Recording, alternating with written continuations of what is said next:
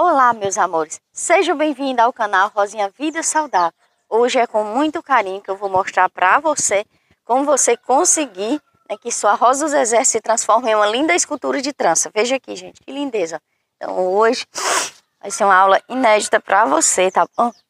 É você aprender a fazer uma rosa de trança apenas com uma planta, uma planta só. Aqui são três plantas, eu vou lhe ensinar com apenas uma planta. Venha comigo. Olha aqui, meus amores, aqui está a minha planta, né? É uma planta que eu consegui, uma somalense, gente, que tem três galhos. Olha que interessante. Se ela tivesse só esses dois galinhos, gente, eu ia transformar ela em uma escultura de cordinha. Mas como ela tem os três galhos, então eu vou transformar ela em uma rosa do deserto belíssima, uma linda escultura de trança, tá bom? Então, Rosinha, como fazer esse processo? Primeiro passo, você reserva a sua rosa do deserto na sombra, tá certo? E você deixa de 15 a 20 dias sem regar. Mas por que, Rosinha? Gente, porque se você não botar ela para desidratar, então ela tem que ficar desidratada. Porque senão ela vai ficar muito dura, muito firmezinha e não vai ter como você é, manusear ela, não vai ter como você fazer as curvinhas. E ela estando desidratada, ela fica mais maleável. Então é bem melhor para a gente fazer todo esse processo. Aí depois que você forma a trança, o que, que você vai fazer?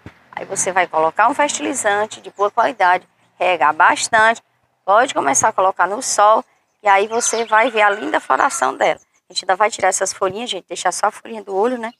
Para poder ela ainda desenvolver melhor. Olha, deixar só a folhinha do olho, tirar essas folhinhas.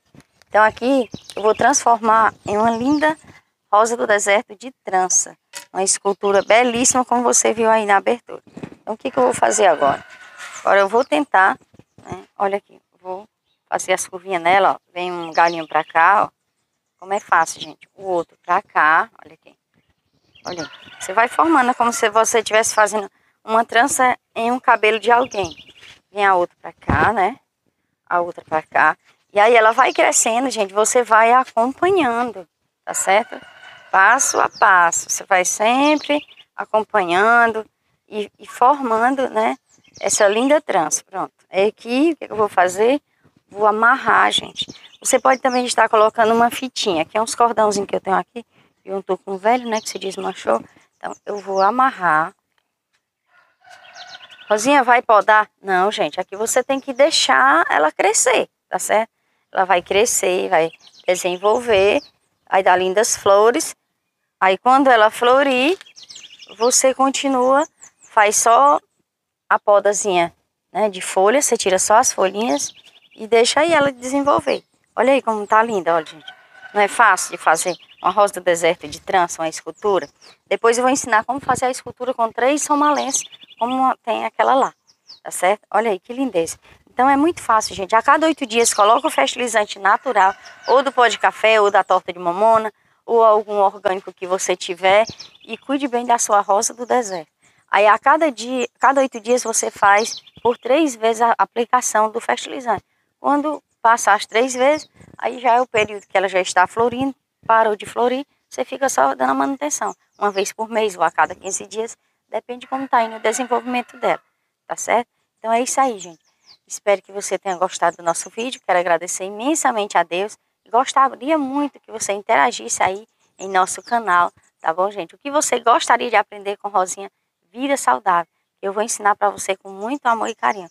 Agora vai ficar aí um vídeo da, da nossa cachorrinha, né, Pitbull, amamentando os filhotinhos dela. Vocês vão ver que fofura. Então, um beijão, gente, no coração e até a próxima.